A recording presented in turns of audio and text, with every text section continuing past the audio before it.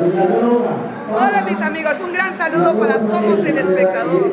No dejen de seguir sus publicaciones. Aquí su amiga Araceli Miguel. Araceli, conquistando poco a poco el público de México como has conquistado el de otros países. ¿Cómo te sientes? Muy contenta, muy feliz, porque aquí estar en mi país, para mí, siempre lo he dicho, mi México lindo y querido, no lo cambio por nada. Vivo en el extranjero, pero siempre añorando mi tierra, añorando mi México, añorando la gente tan cálida de, nuestro pueblo, así que esto no lo cambio por nada. Feliz de haber cantado esta mañana, eh, más bien esta tarde con, y estar con todos ustedes. Sin embargo, ¿es cierto aquel dicho de que nadie es profeta en su tierra o no? A veces sí, sí sucede. Llega a suceder ese dicho, ¿verdad?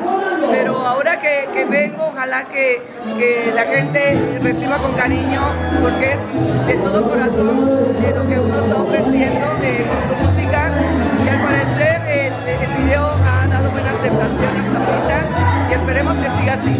¿Te desespera no tener una carrera rápida o te consuela tener una carrera sólida?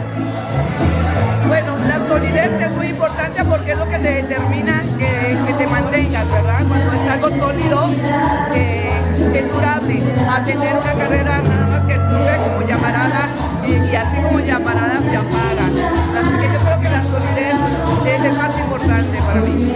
Pues eres una gran artista y ojalá te acuerdes de que somos el espectador, te lo digo, que vas a alcanzar el éxito deseado.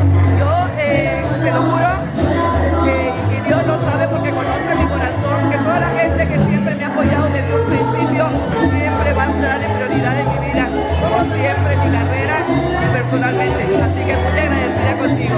Pues tú ya, eres, tú ya eres prioridad en este espacio. Enhorabuena. Hermoso, ¿eh?